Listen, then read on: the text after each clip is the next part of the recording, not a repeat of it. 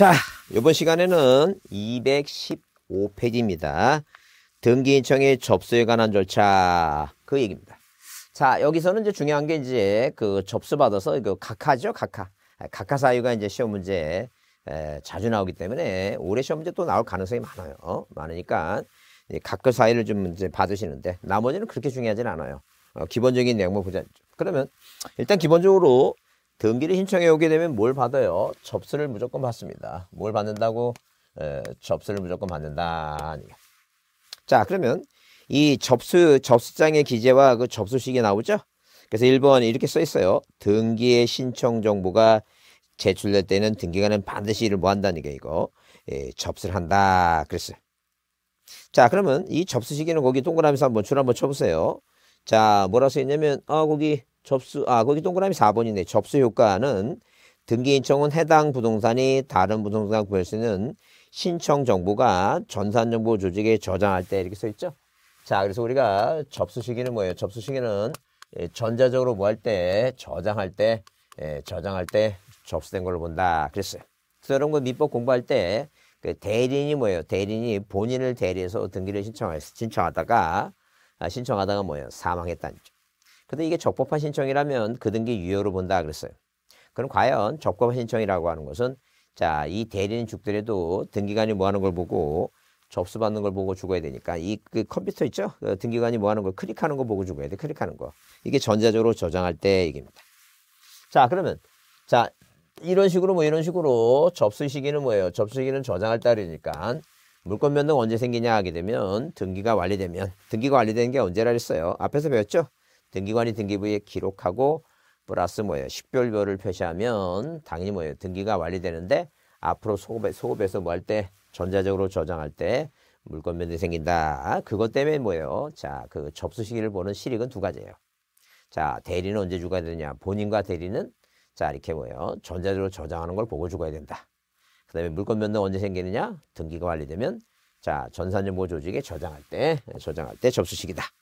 자, 그 다음에 자, 우리가 뭐예요? 우리가 자, 등기를 뭐라고 법에 이렇게 동시에 신청하라고 정해 놓은 게 있어요. 동시에 신청하라고 정해 놓은 게. 그 대표적인 게 뭐예요? 소유권 이전 등기 플러스 무슨 등기는 이 환매 등기는 뭐하고 이전 등기와 동시에 되고 마찬가지예요. 소유권 이전 등기 플러스 무슨 등기 신탁 등기. 그러니까 요즘은 신탁 등기 담보 신탁도 있으니까 보존 등기나 이전 등기나 설정 등기 있죠? 어, 그거와 신탁 등기를 뭐하라는 얘기야 이거. 동시에 신청하라. 아니 동시에 동시에 신청하라. 자, 이거는 뭐예요? 이전 등기 플러스 환매 등기는 자, 동시에 신청하지 않으면 그 아래 부기 등기를 해야 되기 때문에 그건 뭐 절대 무예요. 그 등기를 받질 않아요. 그러니까 이전 등기만 해오면 상관없는데 환매 등기만 해오게 되면 이전 등기 아래에 써야 되니까 환매 등기를 쓸 데가 없다는 게. 근데 이 신탁 등기는 뭐예요? 신탁 등기는 반드시 동시에 신청하는 건 아니에요. 만약에 뭐예요? 자, 예컨대 그 대, 대위 등기 신청할 때 있죠? 대위 등기 신청할 때 자, 이전 등기나 설정 등기를 먼저 하고 나중에 신탁 등기를 하는 경우도 있어요. 그런 예외가 있기 때문에 자, 그래서 이 동시에 신청한다는 그 기본 개정이 뭐예요? 기본 개념이 있다는 얘기지 예외를 있어요. 근데 예외 없어요, 이거는. 그래서 이건 사건이 등기할 것이 아닌 경우에 해당하고 이건 신청서 방식에 적합하지 않는다 이렇게 해당이 된다. 이 각하 사유가 틀리다라고 참고로 보셨죠. 자, 그런데 이제 물론 시험에서 이제 나올 때 어, 이제 우리는 예외가 있지만 여튼 기본적으로 어, 기본적으로 이전 등기와 자 환매 등기, 이전 등기와 신탁 등기는 뭐하라고 동시에 신청하라. 마찬가지예요. 구분 건물도 일부 구분 건물에만의 보존 등기는 다른 나머지 구분 건물의 보존 등기와 자 동시에 신청하라 그러는데 예, 그건 또 해당되는 것을 보지 않죠. 그래서 여러분 거기 어디에 자 216페이지 거기 법 규정에 한 동시 신청에서 환매와 이전 등기, 신탁과 이전 등기 나오죠? 어 이전 등기 나와요. 그 다음에 자 거기 이 디귿번에 일동 건물에 속하는 구분 건물 일부분에 관해 보존 등기 할 때는 나머지 건물의 표시와 동시한다. 자 이렇게 몇 가지만 세 가지만이라도 한번 봐주자는 거예요. 뭐 다른 것도 그렇게 중요하진 않아요. 그렇게 중요하지 않으니까. 어, 그래서 밑에 당구장 표시에 위 신청은 동시에 신청하지 않으면 법 29조 자 2항의 각하 대상이지만 다만 니은 신탁 등기는 있죠. 29조 메토라는 게 이거 5단이게 5다. 어? 자 5단이게요. 그 니은만 틀리다는 얘기죠. 5단이게요. 음, 그래서 기억과 니은이 차이가 있다 이렇게 아까 얘기한 대로 그렇게 보시면 돼요. 자 아, 그러면 일단 기본적으로 심사가 나오는데 그 다음에 뭐예요? 심사를 해요. 심사하는데 무슨 심사가 형식적 심사를 기본 원칙으로 해요. 어, 형식적 심사다. 서류만 심사하겠다니까. 예, 형식 심사라는 것은 서류만 심사하겠다. 서류 심사야. 한마디로 자, 이 법률 관계 있죠? 실체적인 뭐예요? 관계까지 조사하진 않겠다는 거예요. 그래서 서류만 맞으면 등기를 받겠다. 그런 의미입니다. 그렇게 이해해 두자. 형식적 심사를 기본 제도로 한다. 자, 그래서 여러분 거기 217페이지에 거기 동그라미 번에 등기인청 정보에 대한 심사의 기준시 그래서 자, 기준식을 써 있죠? 어, 그러면 거기 니은 번에 등기관이 부동산 등기법 29조 규정에서 등기인청 서류에 대한 심사를 할 경우에 심사 기준은 바로 등기부에 뭐예요? 기록할 때다. 각할 때, 각할 때, 접수받을 때 심사하는 게 아니라 뭐라고 등기부에 기록할 때 심사한다. 얘기. 자, 그럼 만약에 뭐예요? 심사를 해서 서류가 뭐가 되면 완비가 되면 서류가 다 완비가 갖추면 등기관이 등기부에 뭐하고 기록하고. 자, 플러스 뭐예요? 플러스 식별부를 표시하면 무슨 부를 예, 식별부를 뭐예요? 식별부를 기록하게 되면 등기가 뭐가 된다는 얘기예요. 등기가 완료가 되는 것이다. 등기가 완료된다. 등기가 완료돼. 근데 서류가 뭐가 되면 서류가 미비하다면 완비가 안 되죠. 서류가 만약에 예, 미비하다, 미비. 미비하다면 등기를 뭐 한다는 얘기예요. 등기를 각하를 한다. 네, 각하. 이 각하 사유가 뭐예요? 각하 사유가 몇 호부터 1호부터 몇 호까지 11호까지 자, 몇 조에 29조 있죠? 29조에 11개가 있다. 그 얘기입니다. 자, 그래서 여러분 뭐예요? 1호하고 2호. 1호는 사건이 등기할 것이 그러니까 관할권 위반이 관할 관할이 아닌 경우 2번은 사건이 등기할 것이 아닌 것이죠. 그 다음에 자, 몇 번은 3번은 뭐예요? 신청 관할이 없는 자고 4호가 뭐예요? 자, 그 신청이나 대리인이 뭐예요? 대리인이 어디에 등기소에 출석하지 않았다. 그 얘기 지금. 이게 쭉 몇 가지가 있어요. 몇 가지가 있고 저기 11개 있죠? 11개. 11개 있다는 자, 그러면 자, 그러면 일단 우리가 중요한 것은 뭐냐면 어, 중요한 것은 2호예요. 2호. 2호. 2호. 2호 뭐예요? 2호가 뭔데? 사건이 사건이 뭐예요? 등기할 어, 것이 뭐예요? 것이 아닌 경우입니다. 아닌 경우 이게 중요하다. 이게 이게 이게 시험 문제 중요하다. 이게 시험 문제 자주 나오는 거예요. 이게 중요하니까 이걸 기억해 주셔야 돼. 그래서 여러분 거기 자 특히 이제 218페이지 위에 거기 보충 나오죠. 어, 그걸 꼭 별표해 주시고 사건이 등기할 것이 아닌 경우에 구체적인 예가 쭉 이렇게 나온 거예요. 그럼 거기에 등기 능력이 없는 물건 또는 권리에 관한 등기를 신청하고 그랬어요. 그래서 앞에 등기 능력 없는 물건이라고 하는 것은 자 모델하우스 그 다음에 뭐예요 구조상 공용 부분 있죠? 어 그래요. 그래서 우리가 보통 아, 자 지붕 있는 온실 축사 지붕 주택 앞에 지붕이 들어가죠? 어, 지붕 지붕 있는 온실 유리 온실 축사 개방형 축사 있죠? 자 개방형 축사 그래서 앞에 이제 몇 가지 근데 잘 안 나와요. 잘 안 나오니까 예, 문제 풀이할 때 또 한번 보면 돼요. 그거 외울 거 없어요. 그래서 등기능력 없는 물건 하게 되면 기본적으로 이제 우리가 이제 눈에 딱 띄는 게 그거예요. 구조상 공용 부분. 그다음에 뭐예요? 자, 당연히 모델하우스 그죠? 어, 그런 거 아니면 뭐 캐노피 같은 거 있죠? 그이 주유소 햇빛 가리개 같은 거 이런 게 등기 안 된다는 게. 되는 건 개방액 축사 있죠? 그 다음에 절대 어떠한 경우에도 자 어디에 해면에 뭐예요? 앵커로 고정된 그 선박을 개조해 갖고 호텔로 만들었다. 절대 뭐예요? 선박은 자, 건물 등기부의 대상 자체가 안 됩니다. 어? 네, 그런 거. 그 다음에 권리는 있죠? 권리는 당연히 유치권 뭐예요? 점유권, 질권 얘기예요. 어? 자, 그래서 우리가 일단 기본적으로 어, 머릿속에 암기할 것은 앞에 우리가 등기 대상이 될 때 외우라고 하는 게 있어요. 뭐라고? 부일용. 자, 부일용 조소지. 자기 몸 안에, 에, 자기 지분만에 뭐 없다는 게 이거. 보상 없다. 보상 없다. 에, 보상 없다. 그랬어요. 외우자 그랬어요. 자, 이게 뭔데? 일단 부일용. 아, 부동산. 부동산 뭐예요? 부동산 뭐에 대해서 일부에 대해서 뭐예요? 무슨 물건은 용익 물건은 이 부동산 일부에 대해서 등기할 수 있는 건 가능하다는 얘기예요. 자, 이런 식으로 용익 물건은 부동산 일부에 대해서 뭐 할 수 있다는 얘기예요. 등기할 수 있다. 그입니다. 그죠? 그래. 자, 조소지가 뭐예요? 조소지 저당권이나 이렇게 저당권이나 소유권 이전 등기는 뭐에 대해서 가능하다는 얘기예요. 지분에 대해서 가능하다 죠 그러니까 당연히 뭐 이렇게 저당권이나 소유권 이전 등기는 어, 이 지분은 뭐예요? 지분에 대해서 이 저당권이라는 는 뭐에 가해서 지분에 대해서 자기 지분에 대해서 지분에 대해서 저당권 설정할 수 있고 지분을 이전할 수 있어요. 이전이 가능하다는 죠 근데 절대 뭐예요? 근데 반대로 이제 뭐예요? 반대로 이런 식으로 공유 지분의 이, 지, 저 뭐예요? 이 공유 부동산 이 지분 있죠? 이 지분에 대해서는 용익물권은 지분에서 할 수 없어요. 왜? 점유를 해야 되니까. 사용해야 되는데. 눈에 보이지 않는 거 어떻게 사용하겠어요? 말도 안 되죠. 근데 부동산 전부가 아닌 자 부동산을 분할하지 않고 일부에 대해서 절대 뭐라고 이 저당권이라는 연등기를 할 수가 없다. 이게 저당권이라는 얘기 할수 없다는 거죠.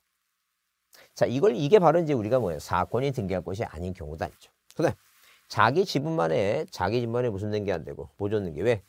등기부는 부동산 하나에 등기부는 하나를 만들어야 되니까 자기 지분만 해달라 그러고 또 자기 지분 해달라 그러면 등기부의 졸지가 졸지 여러 개가 될 수 있어요. 한 대. 자, 그 다음에 상속등기도 마찬가지다. 아니 된다. 자, 보존 등기와 무슨 등기 안 된다고 상속 등기를 할 수 없다. 이게 사건이 등기할 것이 아닌 경우예요.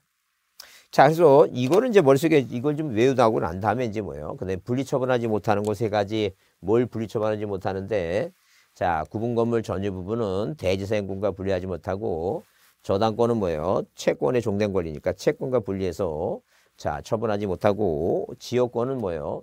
자, 그 요역지 소유권과 분리해서 처분하지 못해요. 하여튼 그래서 자, 거기 니은번에는 법령에 근거가 없는 특약사항 있죠? 근거 없는 특약사항. 없는 일을 했으니까 특약사항은 지상권은 지상권은 뭐예요? 지상권은 물권이에요. 주된 권리고. 그러니까 절대 뭐예요? 지상권을 이전하지 못하도록 자, 양도금지 특이할 수 없어요. 근데 전세권은 종된 권리예요. 전세권 채권에. 그래서 전세권에 양도금지 특약은 가능해. 이런 식으로 특약사항이 등기가 근거가 없는 거 하면 안 돼요. 근데 아까 얘기한 대로 분리처분하지 못하는 거, 디귿. 대지사용권은 전유부, 대구분 건물의 전유부는 대지사용권과 분리하지 못하고. 자, 미은분의 저당권은 피담보 채권과 분리해서 양도하지 못하고. 농지 전세권 등기 안 되는 건 아주 수없이 듣죠? 농지 전세권 등기 안 된다는 거. 그 다음에 자, 거기 미음과 시읒은 자기 지분만의 보존 등기와 자기 상속 지분만의 보존 등기 상속 등기 안 되고. 그다음에 자, 이응은 관공서 또는 법원이 촉탁을 할 것을 뭐예요? 자, 가압류 가처분은 촉탁 등기인데. 이거 신청하면 안 된다 니까 보존 등기는 하나 보존 등기라는 건 부동산 하나에 등기부가 하나인데 또 보존 등기 안 되는 건 등기부가 두 개만 안 되지. 그 밖에 자, 신청 취지에 뭐예요? 법에 허용할 수 없는 거 있죠? 어, 예컨대 만약에 뭐 우리가 가등기 할 때 다시 보겠지만 가등기한 뭐예요? 가등기에 가등기 있죠? 예, 가등기에 대해서 자 가등기가 뭐예요? 본등기 금지 있죠? 가처분 그런 거 안 된다는 얘기예요. 가등기 본등기 금지. 자, 하여튼 그래서 일단 기본적으로 뭐예요? 이게 중요하니까 이거부터 먼저 외우고 나서 분리처분하지 못하는 거세 가지. 농지 전세권 등기 안 되고 있죠? 뭐 실타래 실타래 뭐예요? 실타래 풀듯이 하나씩 이렇게 먼저 이거부터 먼저 외우고 가자니까 중요하다 그랬어. 자, 그 다음에 219페이지 보시면, 자, 거기 그 쌍가립은 각하사유가, 아, 각하사유가 뭐예요? 강가하고 실행한 등기 효력 있죠? 어, 1호하고 1호, 관할권만과 2호, 두, 아까 우리 앞에서 유효 요건 할 때 공부했어요. 절대 무예요. 등기관 직권 맞어요. 나머지 것들은 뭐예요? 실체 관계가 부합되면 뭐 할 수 있어요? 유효할 수 있다. 그 얘기예요. 어? 그 다음에, 자, 그렇게 이해해 주시고, 다른 것은 뭐 이렇게 볼 거 없어요. 다른 거 볼 거 없고, 자, 그 다음에 다만 뭐예요? 동그라미 이번에 보시면 자, 등기 신청을 각할 때는 접수장의 비고란과 등기 신청서 표시에 각하라고 주소하고 그 신청서는 뭐예요? 신청서 기타 부속서에 편철을 해요. 응? 그러니까 한마디로 뭐냐면 자, 이런 신청을 뭐 했다고 각하했다라고 이렇게 편철한다는 게. 그러나 각하 결정 등본을 교부하거나 송달할 때는 등기 신청서 이외에 첨부 서류도 함께 교부해서 그러니까 한마디로 뭐냐면 자, 절대 뭐는 안 돌려줘요. 절대 신청서 이외에 서류를 돌려주지 절대 신청서는 뭐예요? 예, 돌려주지 않는다. 이제 그런 얘기예요. 그래서 여러분 거기 밑에 시험 문제 30회인데 몇 년 안 됐죠? 예, 각하할 경우에 모두 걸어가게 되면 자기 집만의 부존등기 자, 니 1번 자기 집만의 상속등기 농지 전세권 안 되고 법원에 촉탁할 것을 뭐예요? 신청하면 안 되죠. 피담보 청구에 분리해서 처분안 되니까 다 해당되네 다. 어? 어, 그래 이런 식이에요. 그러니까 여러분 거기 218페이지 거기 박스 안에 있는 거 있죠? 어, 그거 계속 뭐예요? 시간 나는 대로 한 번씩 읽어보고 그 지문을 잘 익히세요. 내 눈에 이 지문을 딱 보고 나서 내가 이해가 됐으면 아내들도 뭐예요? 보면 찍을 수 있겠죠? 어, 그런 식으로 뭐부터 기억하자고? 자, 부일령 조소지, 부일령 조소지. 자, 그 국가가 부일령 조소지에 토지를 수용하는데 자기 지분만에 수용은 안 된다. 상속, 자기 지분에 뭐예요? 보상은 수용해서 보상은 안 해주겠다는 그래서 부일령 조소지 자기 지번에 보상은 안 해준다. 보상 없다. 그 얘기야. 어? 자, 그 다음에, 그래서 이제, 자, 어디 넘겨보시면 220페이지를 보자. 220페이지. 그 220페이지 보시면 잘못된 부분에 흠결 보죠. 그런데 뭐 이렇게 중요하진 않아요. 중요하지 않고 만약에 등기 인청을 받았는데 인감유형이 5개월짜리예요. 3개월짜리 바로 바로 자 바로 가서 자 그 다음까지 끊어오면 다, 다시 제출하면 어, 그 오늘 받은 오늘 받은 뭐예요? 접수 번호대로 등기가 실행될 것이다. 이제 그런 얘기 순위를 보장해 주겠다. 그입니다. 자, 그 다음 날까지 가져오면 뭐예요? 자, 신청 뭐예요? 신청 받은 걸 유지시켜 주겠다. 이렇게 이해해 두시고. 그 다음에 취하는 뭐예요? 취하는 18일 때 나오고 지금까지 안 나오고 있어요. 나중에 문제풀이 할 때 보겠습니다. 그 다음에 등기 실행에 의한 등기부에 기록하는 거예요. 그래서 우리가 등기부에 기록하는데 자, 이런 식으로 뭐예요? 이 표제부가 있고, 그 다음에 뭐가 있고, 에, 예, 갑부가 있고 뭐가 있어 이거 울가 있어 이제 뭘만 하면 나오는 문제가 다음 표제부에 기록할 사항이 아니고 다음 중 갑구나 울구에 기록할 사항이 아닌 거 물어봤을 때 아, 답은 항상 두 가지예요. 그러면 항상 어디에 이 표제부에는 뭐가 없어요. 표제부에는 접수 번호라고 하는 게 없어요. 뭐가 없다고 에, 예, 접수 번호라고 하는 건 없어요. 접수 번호라는 거 없다. 접수 연원이 있어도 접수 번호는 없어요. 그러니까 다음 중 표제부에 기록할 사항이 아닌 건 접수번호하고 그다음에 어디에 이, 이 사항란 있죠? 갑 그리고 사항란에 기록하는 게 뭐예요? 이게 접수번호예요. 접수번호. 이 접수번호는 이 접수번호는 어디에 갑구나 을구의 순위를 파악하는데 기준이 돼요. 자, 그 다음에 사항란은 우리가 뭐예요? 대주권 무슨 등기예요? 대주권 뭐예요? 대주권 뜻 등기예요. 뜻 등기. 음, 뜻등기는 사항란에 기록해요. 근데 뭐 대주권 등기는 이렇게 대주권 등기는 어디에 기록돼요? 표제부에 기록돼요. 자, 이런 차이가 있어요. 줄이나 한번 쳐보자. 줄이. 그래서 여러분 여기 221페이지 등기부의 기록상 그래서 표제부 나오죠? 자 거기 동그라미 이번에 접수 연, 월, 일은 있어요. 뭐는 없고 자 접수 번호는 없어요. 접수 연월일은 있어도 음, 그래서 거기 뭐예요? 거기 동그라미 4번에 구분 건물에 뭐가 있을 때 대주권 있을 때 그 권리가 하는 표시죠. 그 대주권 표시 등기는 대주권 표시 등기는 어디에 기록하는 거예요? 자, 건물 등기부 표제부에 기록을 해요. 그 줄치세 동그라미 4번. 구분 건물에 대주권 있을 때 그 권리가 하는 표시. 다른 말로 뭐라고? 대주권 표시 단지. 건물 등기부 표제부에 대주권 표시 등기를 한다. 건물 등기부 표제부에 대주권 표시 등기를 한다. 근데 자, 넘겨 보시면 거기 222페이지 있죠? 222쪽에 그 쌍가리 2번 있죠? 쌍가리 2번에 거기 보시면 자 동그라미 3번에 거기 접수 연월과 접수 번호 그 동그라미 접수 번호 어, 접수 번호 동그라미 치고 접수 번호 자 그다음에 거기 7번에 대주권 뜻등기 나오죠? 그래요. 대주권 뜻등기는 어디다 하는 거예요? 대주권 뜻등기는 어, 당연히 뭐예요? 자 사항란에 갑구나 을구에 대주권 뜻등기 한다 그랬어요. 그래서 이제 답을 찾으면 항상 기본적으로 뭐예요? 뭐가 갑군 알고 사항란에 기록할 사항이 아닌 거 물어보게 되면 항상 답은 뭐라고? 예, 대주권 등기. 대주권 등기. 표제부에 기록할 사항이 아닌 거 물어보게 되면 당연히 뭐예요? 접수번호하고 대주권 뜻등기다. 사 표제부에 기록할 사항이 아닌 거 물어보면 답이 뭐라고? 네, 자 접수번호하고 대주권 뜻등기. 그렇게 이해해 주지 않죠. 자, 그 다음에 등기와의 절차. 그래서 권리자한테 등기별 정보 교부해 주죠? 무슨 얘기예요? 그러니까 한마디로 뭐냐면 등기가 완료되면 이렇게 등기부상의 명의가 올라온 사람 1번에서 소유권 보존 등기 이런 식으로 갑이라고 등기 권리자 있죠? 어, 권리자 이 권리자한테 등기 권리자한테 등기 뭐라고? 등기 권리자한테 등기관이 권리자한테 뭘 교부해 준다는 얘기예요. 등기필 어, 등기필 정보를 에, 교부를 해줍니다. 등기필 정보. 그래서 이 등기필 정보는 항상 뭐예요? 항상 기본적으로 명의가 올라가는 사람한테 기차 교부해 준 거니까 보존는 게안 되든가. 아니면 이렇게 야 소유권 무슨 는게 안 되든가 이전는 게안 되든가. 아니면 을구에 무슨 는게 안 되든가 지상권 지역권 전세권 저당권 설정 능기 있죠? 자 이런 식으로 보존 능기와 이전 능기 설정 능기 있죠? 자 그 이외에 명의가 올라가는 게 뭐예요? 예컨대 단독 소유를 공유로 바꾸는 거죠? 어 그래요. 단독 소유를 공유로 오신다든가. 자 아마도 뭐예요? 합의자 한 명이 더 추가된다든가. 이런 얘기예요 그러니까 자 거기 그 220페이지 참고로 거기 등기 권리자한테 등기필 정보를 뭐 해준다는 게 이거 교부를 해줘요. 그래서 거기 자 1번에 등기관이 새로운 권리에 관한 등기를 마쳤을 때는 등기필 정보를 작성해서 권리자한테 통지한다. 그래서 2번 등기필 정보는 등기부의 새로운 권리자가 기록되는 경우에 그 권리자를 확인하기 위해서 등기관이 뭐라고 작성하는 정보다. 즉 등기부에 새로운 등기명이 되는 권리자에게 작성한 교본다. 이 경우 등기소에 교부받은 등기표 정보는 그 등기명인이 뭐예요? 누가 됐을 때 의무자로 등기 신청할 때는 등기소에 제공을 해요. 받을 때는 권리자가 받고 이 사람이 뭐예요? 집을 팔거나 의무자가 될 때는 등기소에 제공한 것이다. 이제. 그럼 동그라미 3번 방문 신청일 때는 뭐예요? 이 등기표 청구를 언제 받느냐 하게 되면 자 만약에 뭐예요? 보, 자, 보정 사무의 처리와 복잡 사건을 제외하고는 늦어도 오전에 제출한 사건에 대해서는 다음날 18시. 오후에 제출한 사건은 다음 다음날 12시 단죠.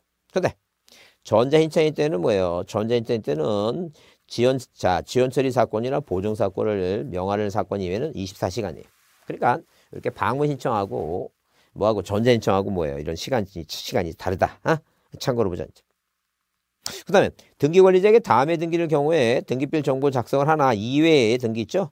어, 예컨대 말소 등기나 멸실 등기나 단독 신청 부동산 표시명 그러니까 명의가 등기소에 등기소에 명의가 올라가지 않은 것은 자 명의가 올라가지 않는 것은 뭐예요? 굳이 뭐예요? 아니 주소지 주소지 바꾸거나 아그 뭐 어떤 권리를 말소하거나 어 그죠? 에, 명인의 표시 변경 이사 이사지 주소지 바꾸거나 그 소재지 바꾸거나 이런 거는 뭐예요? 필요 없다는 게 왜? 아 이건 당연히 뭐예요? 명의가 올라가는 게 아니에요. 그래서 거기 기억처럼 보존 등기나 설정 등기라는 게 명의 올라가죠. 근데 물론 가등기권자도 가등기권 가등기권자가 되니까 보존 등기는 가등기가 안 되니까 자 설정하고 이전 등기 할 때는 자그 등기표 정보를 줘요. 그다음에 권리자를 추가 추가하는 경정 변경이나 단독을 공유를 하거나 합의자가 추가하는 거 있죠. 어 이런 거 뭐야 이런 거 그러니까 한마디로 뭐냐면 자 이렇게 원래 소유권자가 갑이 2분의 1 갖고 있고 을도 2분의 1을 갖고 있는데 이 갑이라는 사람이 얘 몰래 공문서를 유지해 갖고 이렇게 1번에서 뭐 했다는 게니까 이 소유권 보존는 게 갑인 양 자기가 단독 소유인 양딱 해놨다니까. 어얘 열받잖아 얘. 잘못됐다니까. 그러면 당연히 뭐라고? 이렇게 1-1번 1번 소유권에 무슨 능기? 소유권에 뭐예요? 경정 능기를 해요. 그래서 을의 2분의 1을 집어넣는다는 게 그래서 이제 소유권자가 갑도 되고 누구 되고 있고 갑 2분의 1, 을 2분의 1 고쳤잖아. 그래서 이게 이렇게 뭐예요? 이렇게 뭐 하거나 네, 명의가 이렇게 올라가는 거예요. 단 단독 소유를 공유로 이렇게 뭐예요? 고치거나. 어? 아니 뭐예요? 합의자가 A, B 갑을 갑을 있죠? 갑하고 을 둘 뿐인데 어, 합의자 뭐예요? 합의자 명의 변경 능기에서 병이 올라갔어요. 이럴, 이럴 때 뭐예요? 이럴 때 준다.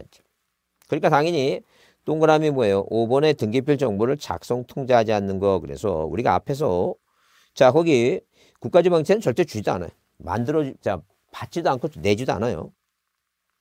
자, 그 다음에 권리자가 통지를 원하지 않는 경우라 거기 디귿번 있죠? 어, 디귿, 디귿하고 니엘은 뭐예요? 우리 앞에서 배웠지만. 자, 예컨대 갑과 을이 이 갑이라는 사람과 을이 매매 계약을 맺었는데 얘가 뭘 안 해가요? 얘가 등기를 안 해가죠? 이 갑이 등기 인수청권에서 채권자가 돼서 채권자 대의에서 소송에서 승소하죠? 어, 그러면 당연히 뭐예요? 이 등기부상에 1번 갑에서 2번 뭐 이전등기 을로 하죠? 어, 이전등기. 그 다음에 누가 에, 갑이 에, 채권자 대의 있죠. 이렇게 채권자. 음, 대의 갑이다. 그죠? 그러면 얘는 등기세 안 왔죠? 갑이 대의로 했으니까 얘한테 뭘 준다는 얘기예요. 등기별 정보를 주는 게 아니라 아, 등기 완료 통지서를 예, 보내준다. 그래서 여기 그 쌍가루 2번에 어, 쌍가루 2번에 완료 통지 작성 통지 그래서 승소한 의무자 대의 신청 있죠? 아니면 직권보존등기 할 경우에 어, 이때는 왜 직권보존 그러니까 그 법원의 가압류 가처분 예, 경매 주택 임차권의 등기 명령 촉탁이 있게 되면 자 등기관이 직권으로 보존등기 하는데 그 보존등기 할때 예, 갑이라는 사람이 자기가 오지 않고 등기관이 직권했으니까 이 사람한테 뭘 준다는 얘기예요. 등기 완료 통지서를 보내준다. 그렇게 이해만 해보자. 이해만. 그래서 여러분 거기 225페이지에 그래서 그 제목도 뭐예요? 등기필 정보는 직접 간 사람. 등기 완료 통지서는 뭐예요? 직권을 해주거나 대의 신청해서 한 사람은 네, 그래서 완료 통지라고 내용 같아요. 어, 명칭을 그래서 뭐예요? 그렇게 바꾸는 것 뿐입니다. 자, 그 다음에 거기 226페이지 보시면 등기원인 성서에 반환이 있고 부본 자료를 작성하고 자, 그 쌍가루분이 조금 조그맣게 발표합니다. 대장소관청의 소유권 변경 사실의 통지예요. 그럼 대장소관청의 소유권 변경 사실을 통지한다. 이게 무슨 말이냐? 이게 대장소관청에. 자, 그러면 자, 이런 식으로 자, 이런 식으로 등기 완료 후에는 자, 대장소관청에 자, 이렇게 대장소관청에 소유권 어, 변경 사실을 뭐 한다는 게 이거 통지를 해준다는 게 통지해준다. 자, 그럼 예컨대 만약에 우리가 뭐예요? 안 돼. 어, 이렇게 대장하고 등기부가 있어요. 그럼 국가가 이 땅 하나를 관리하는데 당이 뭐예요? 이 소재는 이 땅의 소재는 뭐예요? 어디를 어느 땅을 관리하는지 소재는 뭐예요? 똑같아야 되겠죠? 어, 똑같아요. 자, 똑같으니까 뭐 예컨대 여기가 뭐라고 써 있으면 1번에서 충청도 100 답 면적 500이면 여기도 뭐라고 써 있어야 돼요? 충청도 100 답 면적 500이다. 이렇게 써 있어야 되죠? 자, 그러면 소유권자 갑이에요.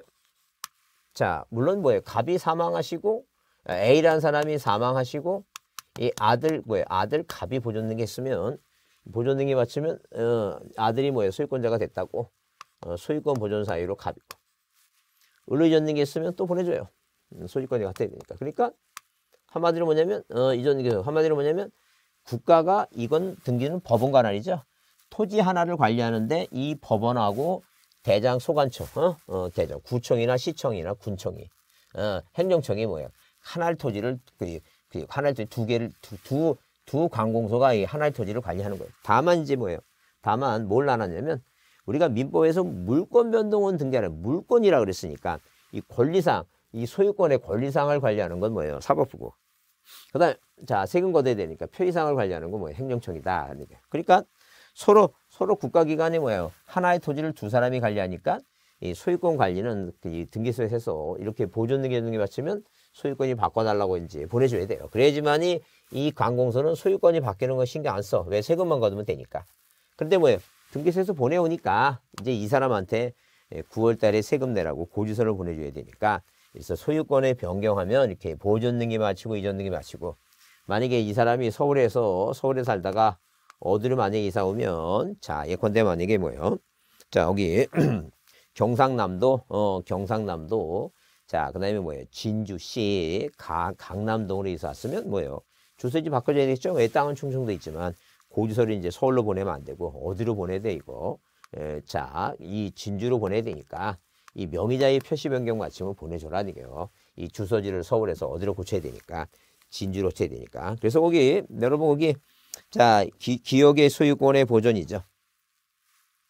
DNA 소유권의 명인의 표시 변경 경적 소유권의 공유를 합의로 바꾼다든가 말소했다든가 아니면 말성계 회복됐으면 보내줘라. 근데 만약에 아닌 것 하게 되면 있죠. 아닌 것 하게 되면 이 통지에서 소유권 변경 통지 아닌 것 하게 되면 당연히 앞에 뭐라고 소유권이 나오지만 어, 소유권에 뭐예요? 가압류. 소유권에 뭐라고? 가처분 있죠? 이런 소유권의 가압류 가처분은 대장에 쓰는 게 아니에요. 또 무슨 지상권도 그런 거 쓰는 게 아니에요. 지상권자가 세금 내는 건 없어요. 어? 그 얘기 하는 거지. 그래서 이게 답이다라고 이제 조그맣게 안에 별표 주지 않죠. 자, 물론 이제 소유권 보존 등기 존기 가등기 있죠? 과세제로 때문에 이제 송배준다. 어? 자, 그렇게 보시고 줄이나 쳐놓으세요. 1번에 등기관이 소유권의 보존 이전 가등기를 포함해서 자, 과세제로 때문에 이제 어, 보내준다. 그래서 여러분 그 다음 페이지 아닌 거 그랬죠? 자, 건축물대장 소관청에 통지할 필요가 없는 거 그래서 거기 1번 멸실회복 있죠? 멸실회복은 뭐예요? 소유권하고 어, 소유권하고 아무 관련이 없어요. 어? 멸실회복 등기는 상관이 없으니까 자, 그건 뭐예요? 필요 없는 얘기다. 자, 그 다음에 227쪽에 그 전산처리, 전자신청 얘기 나오죠? 뭐 그렇게 안 중요해요. 요새 잘 안 나오고 있는데, 자, 시험 문제 나온 답이나 뭐예요? 답이나 좀 예, 확인해 놓고 보자. 이제 그런 얘기. 어?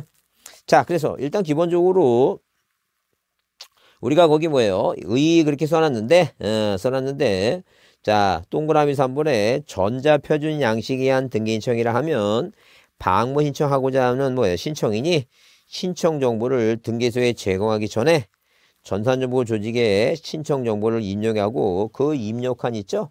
신청 정보를 서면에 제출해서 등기소에 제공하는 방법을 신청하는 것을 말하는데 따라서 뭐예요? 전자 표준 양식은 속지 말라는 게요. 이 전자 표준 양식이 전자 신청할 때 쓰는 게 아니라 자 방문 신청할 때 쓰는 것이다. 이제 그런 얘기예요. 그건 참고로 이제 참고로 보시고 어, 우리 시험 문제 딱 한 번 나왔어요.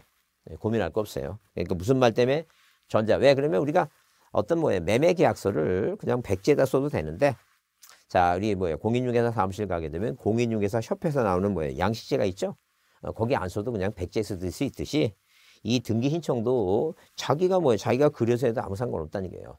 자, 그 국가가 만드는 그 표준 양식에 하면 좋겠지만 그거 안 해도 된다. 그런 얘기예요, 지금. 응? 그래서 그거 전자표준 양식은 방문 신청할 때 필요한 것이다. 자, 일단 기본적으로 쌍가리 본지에 거기 전자 신청이 가능한 자 써 있죠? 줄쳐보지 않죠. 그래서 일단 당사자 본인에 대한 신청의 경우에 등기법에 따른 사용자 등록한 자연이 있죠. 그 다음에 자 상업등기법에 의한 전자증명서를 발표받은 법인 자 이 사람이 뭐예요? 전자신청이 가능한데 절대 그러나 법인 아닌 사단자단 있죠. 자 이렇게 전자 뭐라고 전자신청을 못하는 자다 이게 못하는 자. 자 대표인 사님 누구라고? 아, 법인 아닌 뭐예요? 아닌 사단 재단 있죠?